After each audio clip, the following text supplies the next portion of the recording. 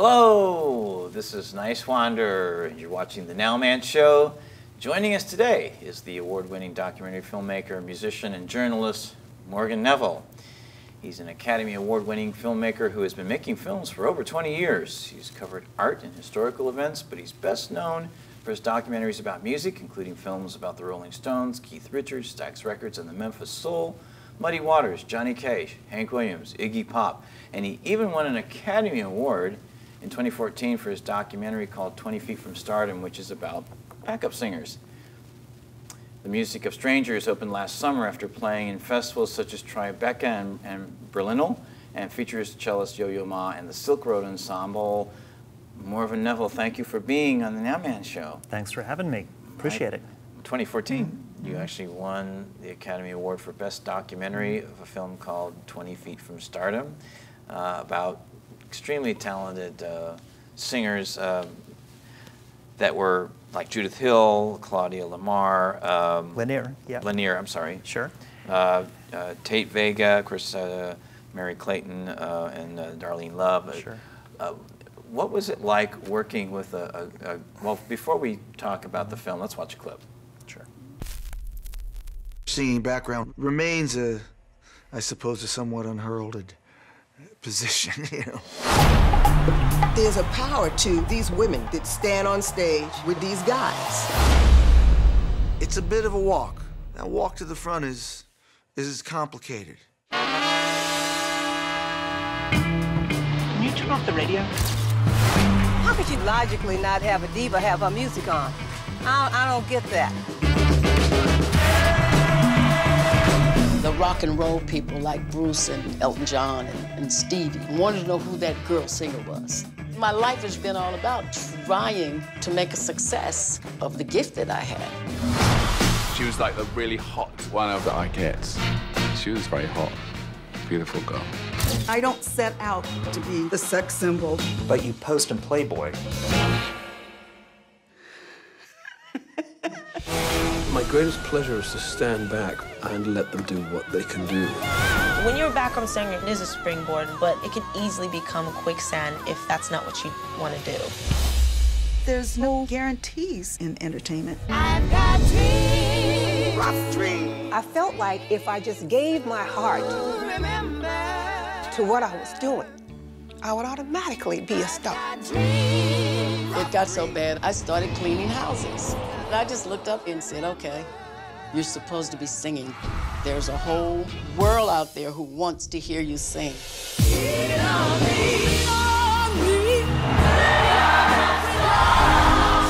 They're in the game and they stayed in the game, and they're legends. It is my honor to induct into the Rock and Roll Hall of Fame and about time to Miss Darlene Love.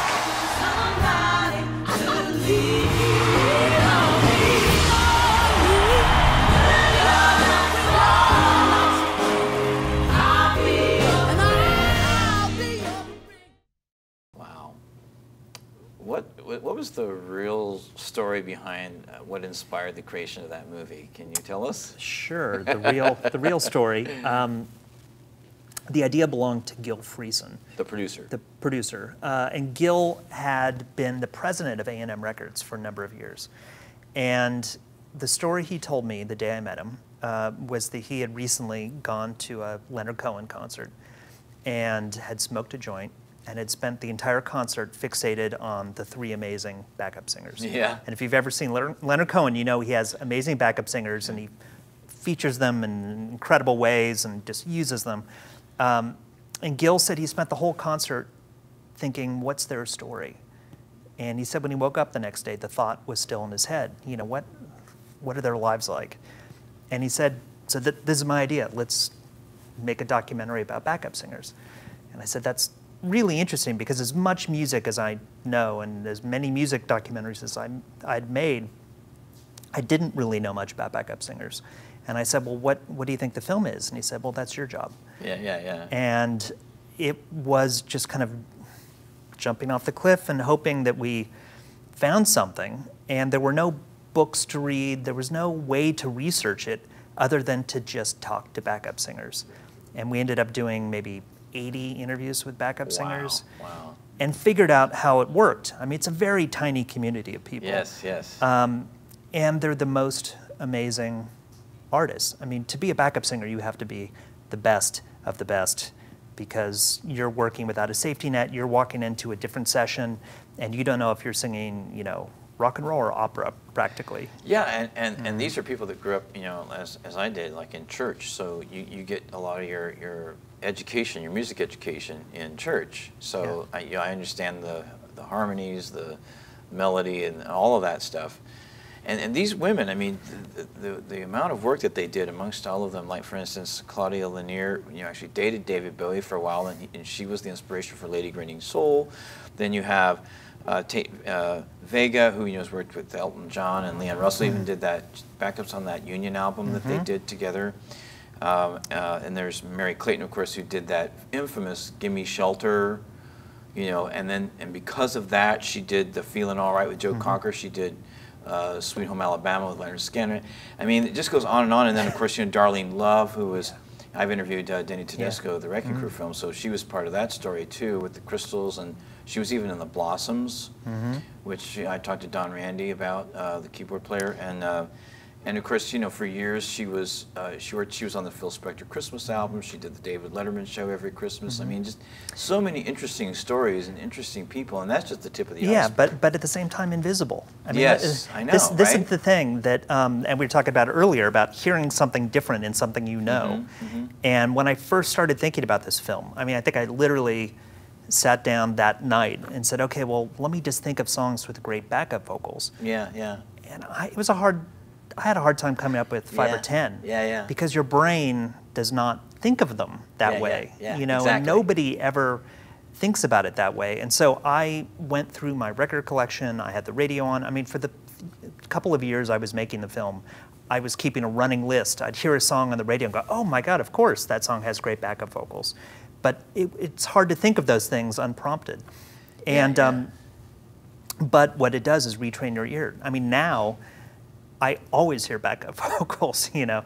I pick it out all the time. And then understanding that it's the same people who do this and this and this and this. And they do it because they're incredible artists. And really then kind of realizing what their journey was. Many of them, like you said, from the church, but on their own kind of journeys through the Wild West to the music business and everything else. Um, and how they all come out on the other side. So it became a spiritual journey, even though I didn't know what it was going to be going into it. How, how did Yeah. you get down? I mean, the stars of the are the movie, uh, the stars of this movie basically are the women that I mentioned. I also didn't mention Judith Hill, who actually was on with Prince uh, when uh, he had to do the emergency landing a week Mhm. before he passed, uh, and he uh, produced uh, her album. Uh, what was it that that made you decide to make these basically? I mean, you had, obviously had to pick stars for the Mhm. film because there's Mhm. so many people you could have put well, in this film. uh, like I said, we interviewed 80 yeah, backup how did you singers. narrow it down to that? I mean, it was group? difficult um, Yeah. because I think I was looking for a group of women that represented different generations of backup Mhm, singers mhm. who had great success, who had sung on well known songs, but who had made different decisions or had different things happen to them throughout their careers. Mhm, Um, that was incredibly hard to find that group of characters so it all kind of fit together like a, like a puzzle. And, you know, I think there were certain people, um, somebody like uh, Darlene Love. I mean, she was one of the first people I interviewed. Mhm, mhm, and I mhm. remember turning to Yeah. Gil, Gil the moment I finished the interview and said, well, we could always make a Darlene Love documentary. Right, like, right. she was so great. And Her story, story. was so big. I, I just know. said, okay, well, you know, we have something. We have a Right, film, you know, right. and let's keep building. Uh, but then people like, you know, Merry Clayton, who's a force of nature, and, um, you know, playing her, uh, the Give Me Shelter, Yes. uh, isolated backup audio track of her singing. Um, that was another one of those moments where I just said, oh my God, that was incredible. Oh no, now I have to clear a Rolling Stones song. you Yeah, know, wow, but wow. But it was amazing. Yeah. And we'll, we'll continue this conversation in uh, part two of the interview with uh, Morgan Neville. And you're watching The Nowman Show. This is Niswander.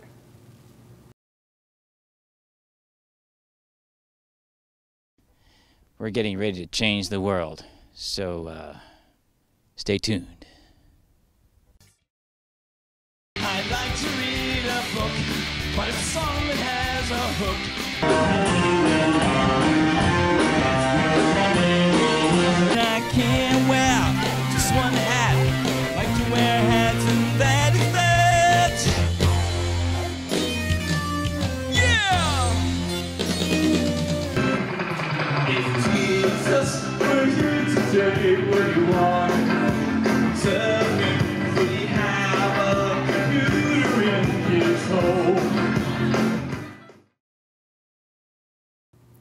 Hello, this is Niswander of the Nowman Show, and I'm here with Academy Award winning director, producer, and writer Morgan Neville. Welcome back. Thank you. uh, we're continuing our conversation from last time we ended talking about uh, actually the Academy Award winning film, Mm-hmm. um, which is uh, 20 Feet from Stardom. Uh, there's just so many stories that we could go into about Mm-hmm. this. Um, what else can you say about that Well, film? Let me maybe just tell you about the experience of taking the film out in the world. It's one thing Yeah, to make the that film. sounds great. Um, it was such a crazy ride because when you make a film, you kind of hope that your parents are going to like it, Yeah, know, or right, something. You know, exactly, yeah. Y- your expectations are very low. Yeah. Um, and certainly when I showed up to interview all these women, they didn't think the film was going to go where it went. You know, they Wow. thought, oh yeah, you're another guy with a camera who's, you know, it'll end up on YouTube somewhere. We've seen it a hundred that's it. and yeah. Um, but there was something about the film. Um, I mean, we put it together and we were really happy with it. Uh, but I didn't show it to any of the women in the film. And opening night at the Sundance Film Festival, we had the opening night film. Wow. And the women were there, and there was a packed house. We'd never shown it to more than five, five or ten people at a time. Wow. Um, and there was just an incredible kind of spiritual experience happening in the screen that I've never had before. Um, it was one of those kind of once in a lifetime experiences. And then the women of the film came out, and um, uh, and it was just charged, you know. And they started singing, and and it just became this roller coaster that we were on for more than a year from Sundance to, to the Academy Awards. Wow. Um, but the best part is y that you don't expect your film to really be that transformative. Yes. But it changed everybody's life. And the thing I'm so grateful for is how it changed the lives of the women who were in the film. Uh, and people like Claudia is singing again. She wasn't singing at the time. Lisa Fischer has her own band and she's touring the world. Great. Um, playing in jazz festivals and jazz clubs, doing exactly what she should be doing. Um, Exactly. and Darlene's been doing better than ever. Uh, and Merry Clayton um, was in a car accident, Yes. and she's getting better. I've told she's gathering her plans for her kind of reemergence. Um, That's great because she even uh, was able to do the Coldplay album. yeah, she did a Coldplay song on the. Coldplay Yeah. album.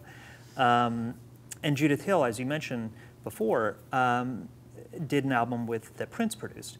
Uh, and I actually had the opportunity. Judith called me to go out and film something with her at Paisley Park. This is about a year and a half ago. Yeah.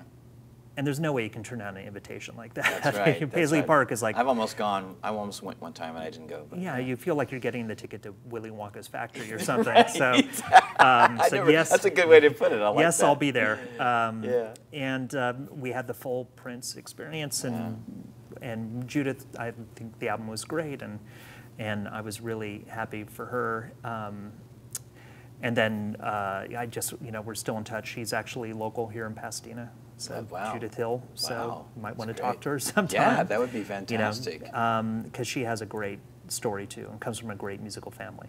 That's yeah. I'm, I'm already interested. Yeah. Yeah, um, and I'm a huge Prince fan too. And actually, uh, had a show one night in a club that he played, and I had to stop mine, and so knew uh, Power Generation could play. It was amazing, amazing. Because you know, when you play a small club, you don't play. I don't have to play the hits here. I can play whatever I want, and that's exactly. exactly what we got. Uh, great memory for me. Um, now, uh, you also have a lot of non. We're briefly going to go into the non-musical part because there's some interesting stuff here too. So let's get right into this. Uh, you were uh, also made movies at the beginning, you know, with Sidney Poitier, Gloria Swanson, the the Huston family was, you know, there. And, and, there was a, The Joy of Lex, that, that TV Yeah. movie that Henry Rollins is in? What, Yes. Can you briefly tell us what that was? It was a crazy idea, um, and it turned out great. It's a documentary about lexicography. What is that? Words. Words, really? Yes. I learned a new word. yes. so it's about, um, as we said, it's a, it was a movie about words and the people that use them. Wow. Uh, so Interesting. it's just where do words come from? How do we invent them? How was language used? You know, it was kind of a crazy idea. Um, Was that the poet in you that made you want to make that? Yeah, but I'm also like a crossword nut, and Oh, really? you know, kind of, I love Wow. I love words. So it just was one of those crazy ideas that we did, and was great. You know, it's um, you know, when I think about what unifies my films, um, it's that they're all about culture Yes. in a way. Yeah. Um, language. I've made art films, Yeah. and even a film like Best of Enemies uh, with Gore Vidal and William Yes. F. Buckley is really Yes. a film about media or a film about the culture of politics. We definitely want to get into that, that towards the end here. And you, you did you did the the cool school. Yeah, the cool school.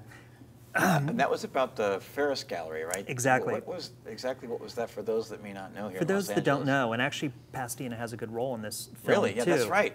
That's um, right. That the Ferus Gallery was the first real modern art gallery in Los Angeles, and that first generation of great LA artists came out of that gallery. That's Ed Ruscha, Robert Irwin, Billy Al Bengston, Ken Price, Larry Bell, uh, Ed Kienholz, um, and it was also the gallery that first showed Warhol.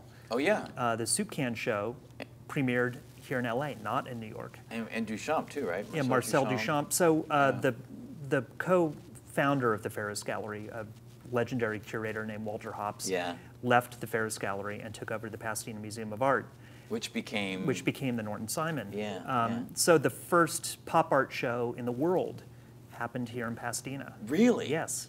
It was called New Paintings of Common Objects. And it was the first museum show that Andy Warhol or Ed Ruscha or Roy Lichtenstein was ever in. Wow. And it happened right here. Wow. See, a lot of people don't Yeah. probably know that history, you know. Um, and then uh, let's watch a clip.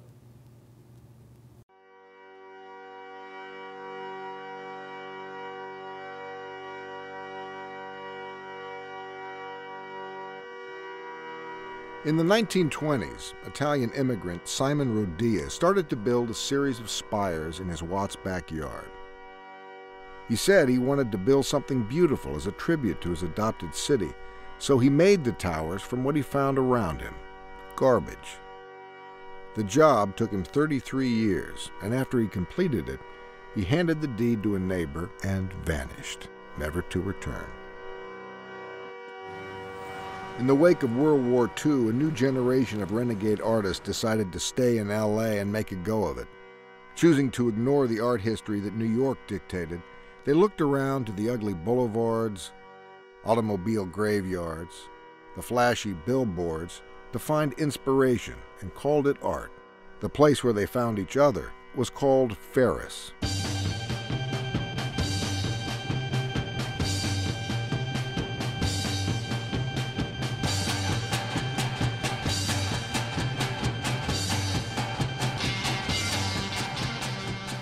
There is this tendency out here just to not care about art history, but it's because we're a young city. We're not an old city. We're not surrounded by art. We don't have to deal with our past because there is no past. Even though we didn't have enough evidence, we were completely confident that we were on the right track and everybody else was full of you know. The work that was going on here in the early 60s was as important as any work being made anywhere in the world. Yeah, we got something that's different out here and we can compete with New York. And that's cultural ambition. They had a pool of interesting artists and something was percolating. And then you got the spark, the Ferus Gallery. There's a film that actually was in the shortlist at the Academy Awards this year, Best of Enemies, Mhm. uh, which basically um, you worked with uh, uh, the uh, Muddy Waters um, producer on that as well. Yeah, Robert Gordon Robert and I did it together. And, and it's about the William F. Buckley and Gore Vidal debates. There were like 10 of them, right? Tell us about uh, that. And well, actually, let's watch a clip and then we'll talk about it.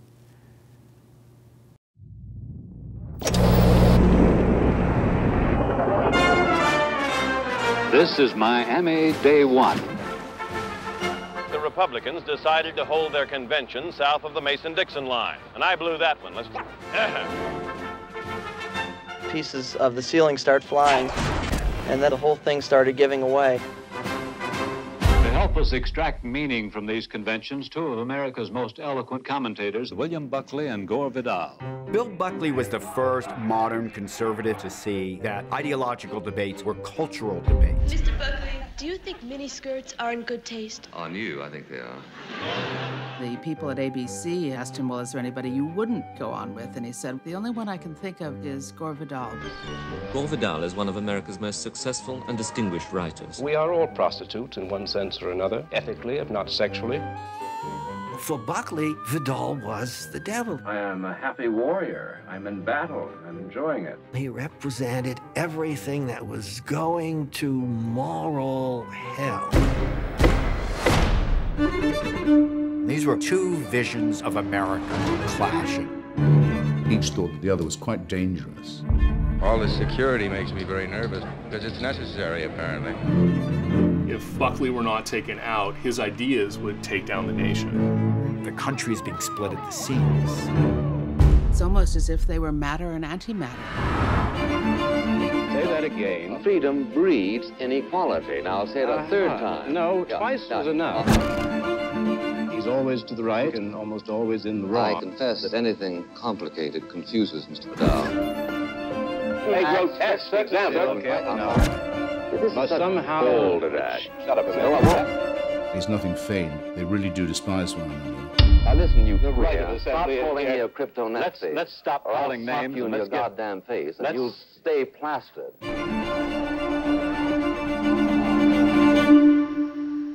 This is William F. Buckley Jr. in New York. Perfect. So, uh, Morgan, what was this film about in detail? Uh, this film was about um, William. Buckley and Gore Vidal, famous uh, right-wing intellectual and famous left-wing intellectual, who had a series of nationally televised debates in 1968. Um, on top of that, they hated each other's guts. Yeah, yeah. And they thought that these debates were going to help determine the future of the democracy. Yeah. So the stakes were high. Yeah. Um, but what it really is is a story about how media has changed. This Yes. moment became, um, in a way, the template for pundit TV we have today, That's right. uh, and something we're living in right now in the middle of an election season. So, this, these were all the things I was thinking about. Personally, um, I've been fascinated with both characters. In fact, I used to work for Gore Vidal. Oh, you did? Yes, as a fact checker. As a fact checker. Yes, so wow, that must have been really interesting. yeah, it was horrible. It was horrible? Oh, wow, wow. No, I mean, I have tremendous respect for, Yeah. for Gore, and he was a great writer. He just, my job was to tell him he'd gotten very small facts slightly wrong. And if you Oh, know anything wow. about Gore Vidal, you can imagine that he didn't enjoy Mhm. being told that. Um, so, uh, yeah, it was an educational experience. Yeah, to say the least. But, but making the film, yeah, was just um, really exciting for me because it got to talk about all these kinds of issues I'm interested in, which is how we, how we talk with each other and where we can find common ground, and whether that common ground comes from um, the difference from the front of the stage to the back of the stage, or through characters like Johnny Cash and Hank Williams, who are you know, championed by people to the left and the right. And, Exactly. Um, I'm always looking for those areas of commonality. That's fantastic. There's a, a New York Times article that came out about the film, uh, written by uh, A.O. Scott. Mhm. And I like this quote here. It says, There's no doubt that the debates were a harbinger of cable news shouting matches to come as television journalism is transformed, is, in, is transformed itself from democracy's buttoned up superego into its snarling id. That's a pretty, I mean, to me, that's a compliment that, you know, that you portrayed that exactly accurately. Well, I mean, it's a compliment, but I, you know, I'm, I'm, un, I'm unhappy that it's true. you know, Yeah, that- I hear you. That, Yeah. um, you know, in a way, media should be mediating. That's That's right. what it should be doing. That's right. And in fact, it's become the opposite. It's become something that, again, divides us rather than unites us. Exactly. And um, these are things that I'm always focused on because I come out of media and journalism myself, and I'm always looking and having real dialogue and re, you know looking for common common ground. Yeah. Exactly, and and allowing all voices to be heard. You know, I think that's Mhm. really important. Not just focusing on one, but the full spectrum, which we're not always seeing these well, days. and right? that's the you know the it, it's complicated because you know the democratization of media Yeah. has also led unfortunately to the democratization of truth. That's right. So now if we don't have to listen to a centralized media, which and there are many good things about that, it doesn't we don't necessarily have to agree upon facts anymore. That's and right. that is a very dangerous thing. That is very dangerous. You're absolutely correct. I couldn't have said that one better. You know, and I and I noticed in that review, right? Mhm. Also, it, you know, they, it was rated R, and I've never seen a, an R rating like this before. Riots, wars, sexual revolution, and a threatened punch in the face. That should have been the tagline. Yeah, that that's good. Have, that, that should have been your tagline. You know, maybe when you uh, re-release it, it'll be I like way. that. I understand you're working on a documentary about uh, the infamous uh, Baptist minister, uh, children's show host, Mr. Rogers. Yes, that's Yeah. that's out. Now, and you Yeah. are working also on some other projects too. You want to tell us what's what's going on there? Yeah, I have some scripted projects I'm working on um, that are really exciting, and uh, and I'm just finishing a show about designers.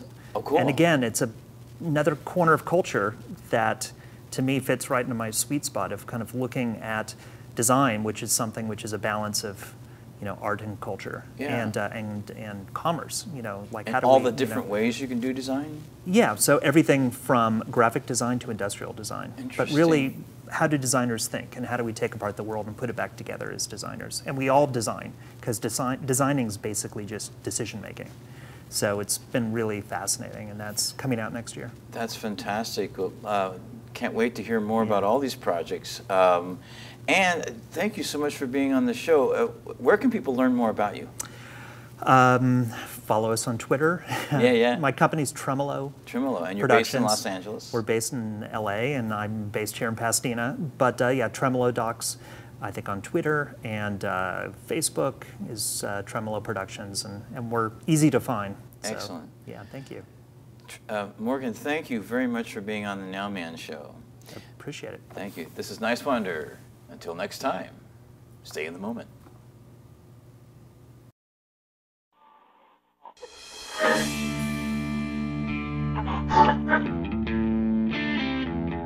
Very often when people perceive that to be a scene, you know, sometimes there isn't. In this case, there really was.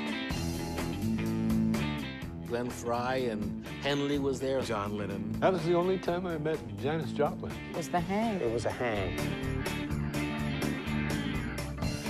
The guys that turned out to be the Eagles used to be sitting right over there all the time. you go in the bar and you say, everybody in show business was at that bar. The Mecca was the Troubadour, even though there was a club called the Mecca. By 1970, the heart of 60s rock was going down. The Beatles were breaking up. The Stones were inactive. So rock and roll needed time to take its breath. I'd like to continue with a song that I wrote myself not too long ago. It's called I've Seen Fire and I've Seen Rain, and it goes like this. I've seen fire and I've seen rain. And when it was taking its breath, that's when this singer-songwriter movement was at its most powerful. There was just all this generational turbulence, cultural turbulence. There was a hunger for the intimacy, the personal thing that we did. Authenticity of somebody telling their own story was what people were interested in.